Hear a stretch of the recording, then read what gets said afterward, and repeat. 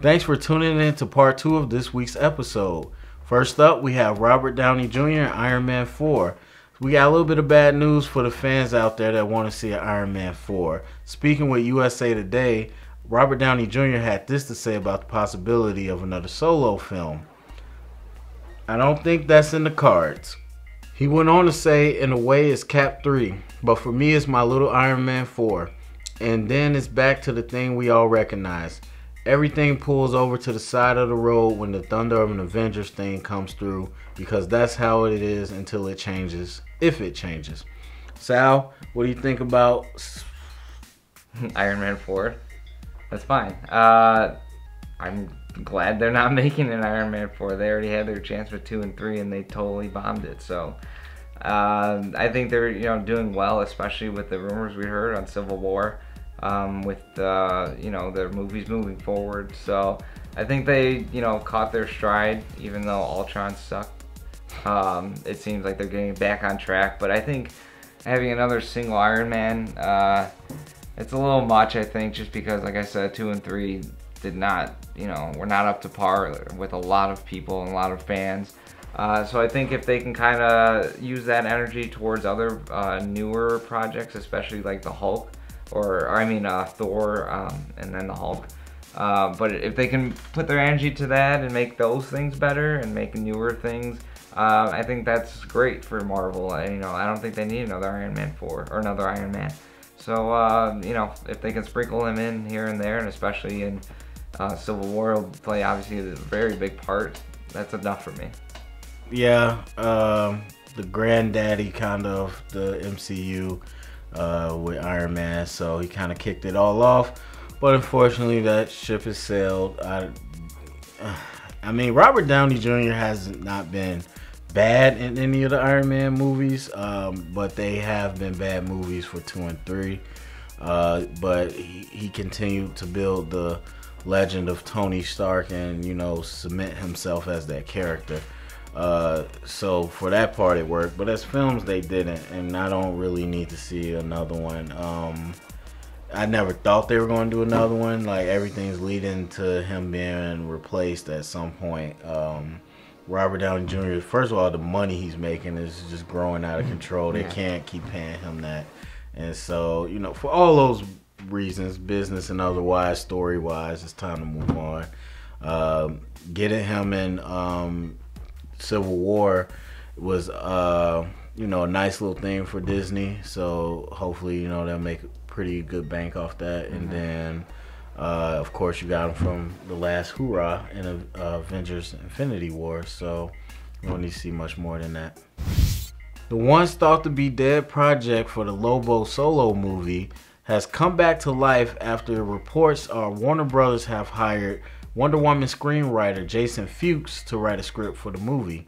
Sal, what do you think about all this?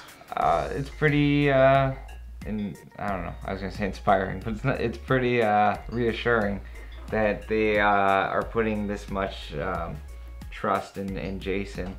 Um, you know, obviously he's done a good job with Wonder Woman, so I mean, rumor has it. So uh, to put it in, put his uh, name onto Lobo, um, you know, it's a totally different character. I think that they revived him because of Deadpool. I think Deadpool kind of springboard a lot of characters upcoming. So, uh, you know, uh, we'll see how that goes. I'm not sure if it'll be rated R, but I think he definitely has the, if any character in uh, in the DC universe uh, has the chance to be R, it, could, it should be Lobo, I think. Um, but we'll see if they go that way. You know, we don't know that yet. Um, but yeah, it's good to see that they put this much trust in him um, even this early. So.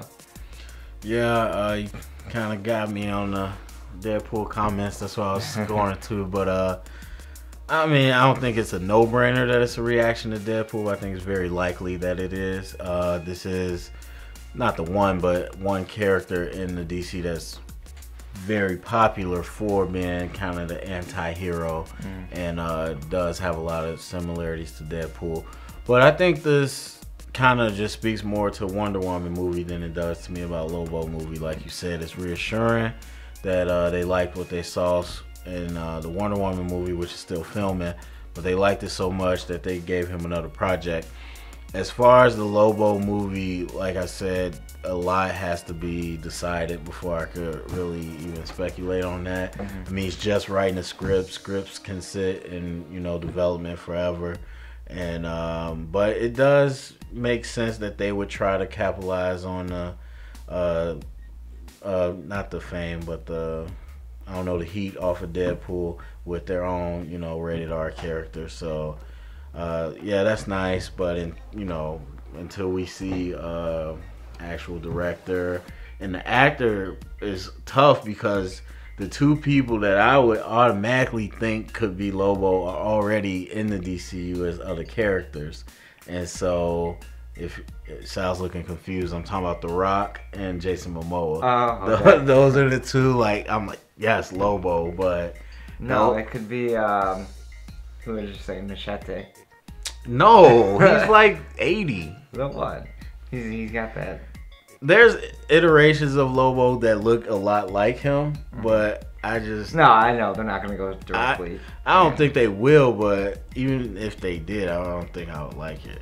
It's a little too old for me. I don't think he could bring the funny part because Lobo got popular off the uh, Justice League animated series, like a lot of Mhm. uh, people did, and he was really funny in that. So I don't think Machete could bring that type of comedy to it. So I don't like it. But yeah, Rock and Jason Momoa, I'm like yes, but they're already Yeah, they would they fun. already cast it. So I'm like, if I see an actor, I see a director attached to this, then I'll get a little more hype. But um, I think right now this is a just in case move.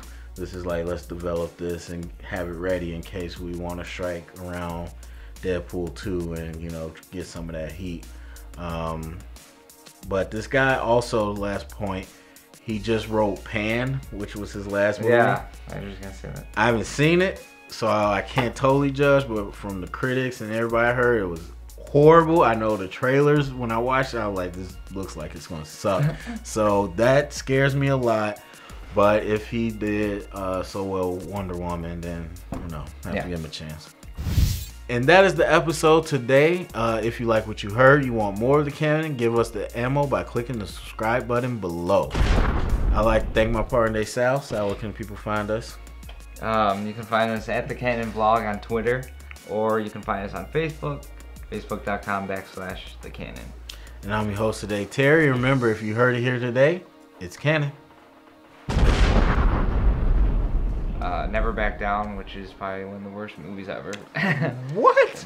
Wait, stop the timeout. I love that movie. Are you kidding me? N- No, I'm not. Oh Never God, back that down. sucked. That movie was great. No, it would suck. Her name was Baja. What the hell yeah, kind of name Baja was Baja? Miller. she was a popular girl.